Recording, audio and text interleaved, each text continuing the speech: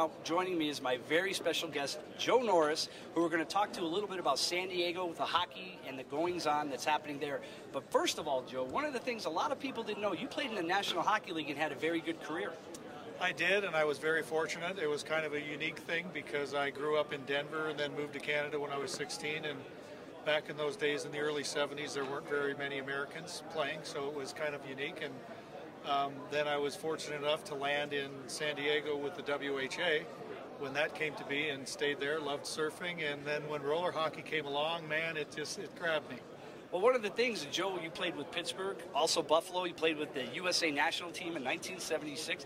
How has the game changed in ice from back then when you were in it to the way it is today? I, I think a great deal of the transition took place when the Russians came and played against the Canadians in the 72 Summit. And the, North American hockey started seeing the skill that the Russians brought, and it wasn't as much bang and chase and – dump the puck, it was hold on to the puck, it was possession. And it really incorporated a great deal of the possession game that roller hockey is known for today. And it was something that it, back in that transition period, more of the North American NHL pro hockey was move the puck, gain a zone, gain a zone. And now you can see the guys moving off their wings. You can see the defensemen jumping up in the play. Um, it wasn't just Bobby Orr that was allowed to do that. Now everybody can, you know. Um, so it's really been a, a, neat thing to watch the, the blending of all. I kind of say three things. It was like the European, Russian influence with the North American influence, and then the inline influence. Talk to us a little bit about FIRS. Obviously, you were the head coach there. You won gold medals. Then you went to the uh, national games, another gold medal, three gold medals within two years. Talk to us a little bit. What's the recipe, the key to your success? Well, it was a pretty interesting thing because when I took over the team, it was uh, kind of a funny thing because Rob Laurie, who had been the, the stalwart goalie and probably the best inline hockey goalie in the world for years, was retiring. So I was pretty darn scared about that. Um, but we had, uh, you know, the great leader in CJ Yoder, who really helped me, and, and we worked together very well as a team with a, a captain and a coach, and we had some discussions. But the biggest thing was is commanding the respect of the guys by not allowing anybody to get away with anything. And it was really something that uh, was very fortunate. I was very proud of the guys that they really took to the, the system that I put into play, and it worked.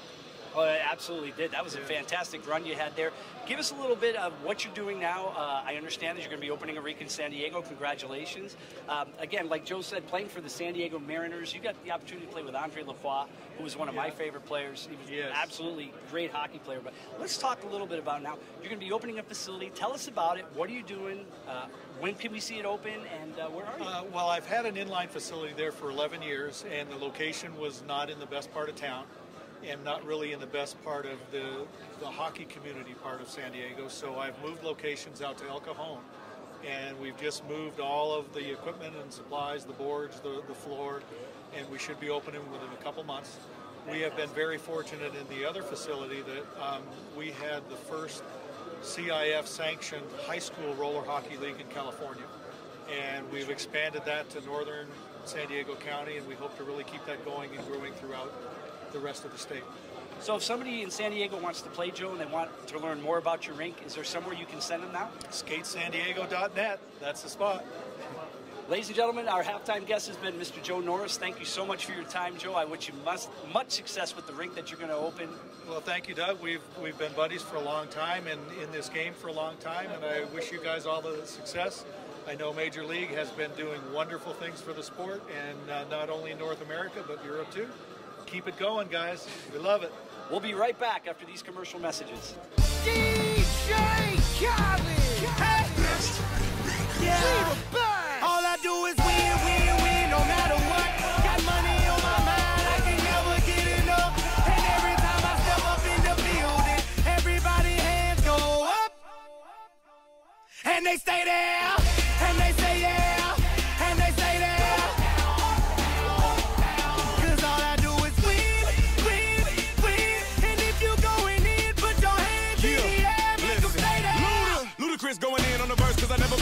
won't stop now.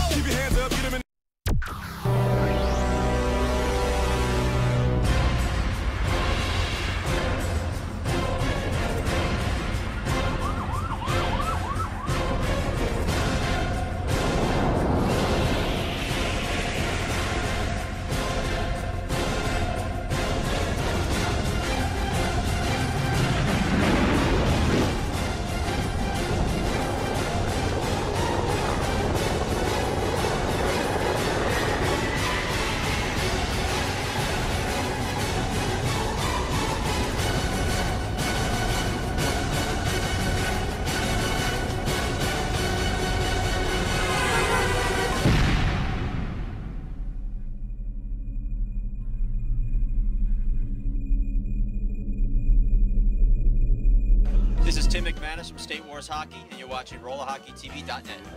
I'm Tommy Neer from the Breakaway Bullies, and I'll see you at MLRH this season. I'm Austin Cole. I'm Dylan O'Malley. And I'm Peter Jonah.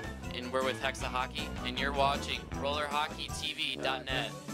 Welcome back, ladies and gentlemen. Joining me right now is my special guest from Ice Court, Nicklas. Thanks for being with us today.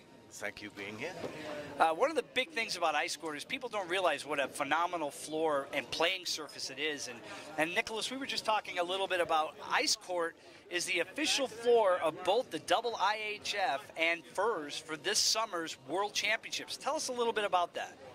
Well, we've been supplying the floors for World Championship uh, since 1998, I believe. And uh, we also supply the floors for IHF since 1995. Excuse me, 2005. I got that wrong. That's okay, but hey, when you supply to both World Championships, that tells everybody that Ice Court is just a product that people want to use. Give us a little bit of the information now behind Ice Court. Why do so many people use it? What are the advantages of the product? Well, we're the only floor out there that uh, was specifically designed for inline hockey. Uh, we have patented surface design uh, relief, and we also have little pinheads that make the puck go like on ice, a clean sheet of ice. And so it makes the whole game so much faster. You have a much better grip, uh, less friction when you go fast, very high friction when you turn and, and accelerate. So that balance makes so much difference, and uh, nothing ever comes close. Well, I've used Ice Court personally. I can't tell you everything that Nicklas just said is true. It's, it is a high quality surface. And one of the bigger things when you see two championships again going on with the double IHF and FIRS this summer, continuously using Ice Court, that states a lot of bit about the product. Where can people go if they want to find out information? Just check out your website and, and get to know your product a little better. Well, they can go to icecourt.com. Uh, got lots of pictures, lots of galleries. Uh, it's pretty informative. There's also a link to the industry, and uh, just to say, you can also go to USA Roller Sports. It's the official floor now. They're going to use it for roller derby. They're going to use it for inline hockey, the quad hockey. They're going to use it for speed skating and to my surprise, I must say, they're going to use it for artistic skating and figure skating, which is, I didn't even know you could do it. Well, great. And again, getting to know Nicklas way back since the old Gretzky Center days, I know that Nick's always done a great job. He's, and the great thing about you is whenever somebody calls you and needs you to be there to put a floor in, this guy will actually get his roll his sleeves up, get dirty, and help put the floor in and make sure it's installed correctly. So remember, ladies and gentlemen, check out Ice Court, the official floor of the FIRS World Championships, double IHF Championships. Our special guest has been Nicklas from Ice Court. We're going to be right back after these commercial messages. This is Keith Noll, and whenever I'm online, I watch Roller Hockey TV I'm Sean Riley from Bauer Hockey. When I search the net for hockey, I search rollerhockeytv.net. I'll tell you, it got really hot in here. Joining me right now, I have two female players from the new Bikini Hockey League. Introduce yourself to America. I'm Heather Josie Moore. I'm the hockey mom of the group. Uh, Erin Honto. Nice to meet you. Can you tell us a little bit about the Bikini Hockey League? There's been a big buzz. I know that uh, it hit Yahoo and there was an amazing amount of hits. Tell us about it.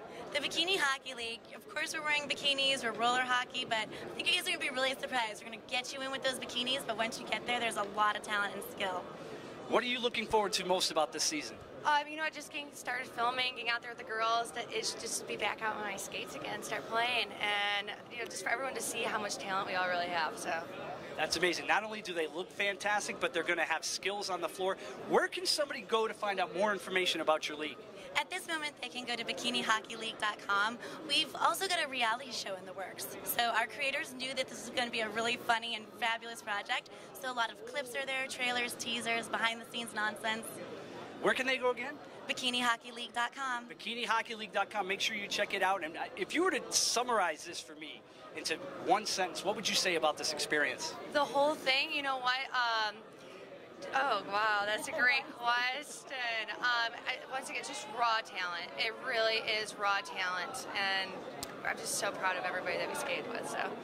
Well, you've heard it again, ladies and gentlemen. Not only do they look amazing, they'll be on the floor. Like they said, they can play the game just as well. And you can go to BikiniHockeyLeague.com to find out more about these beautiful women that are going to be lacing it up this season. And we also get to look forward to that reality show that's going to be coming out as well. Right now, we're at halftime. This is Major League Roller Hockey International. We're going to be right back after these commercial messages. Hi, I'm Philip Pritchard. When I'm not carrying the Stanley Cup, I'm watching RollerHockeyTV.net.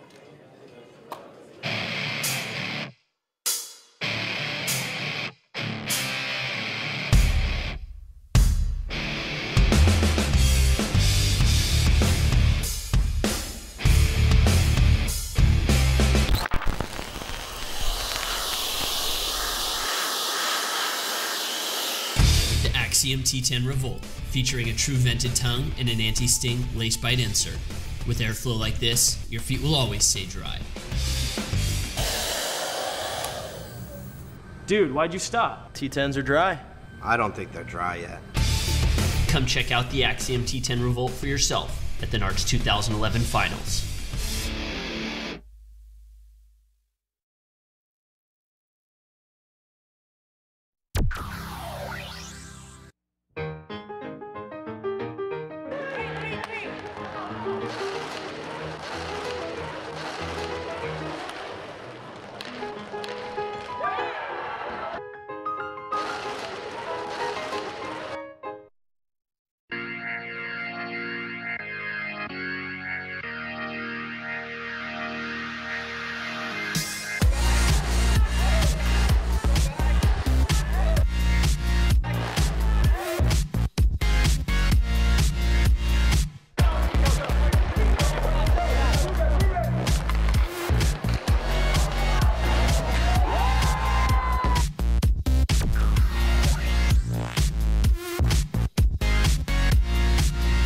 We are mobile here at the Let's Play Hockey Show in Las Vegas. It's a two-day show.